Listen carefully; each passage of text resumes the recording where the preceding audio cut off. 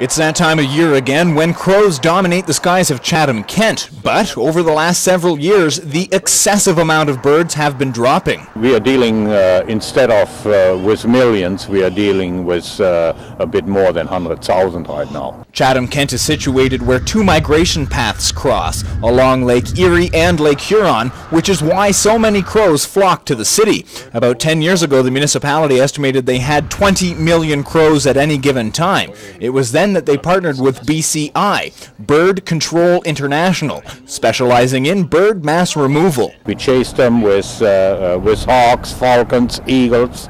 We, we did some shooting, not too much. We used pyrotechnics, we used distress call tapes, whatever made their life miserable.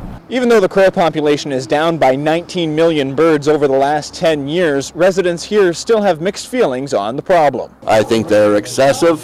Uh, people are feeding them too much garbage, and I think if we can't poison them, we should uh, maybe use them for target practice. I guess the crow situation's about the same as every year. There's a few too many. Doesn't seem as many.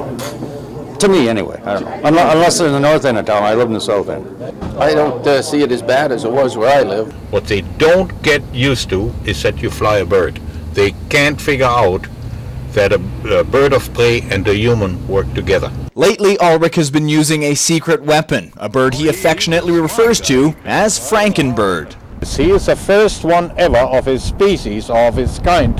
He is a half Harris hawk and half golden eagle. This hybrid has been trained to set his focus solely on crows. The crows, they see him, they, they will leave anywhere half a mile around him, they clear out.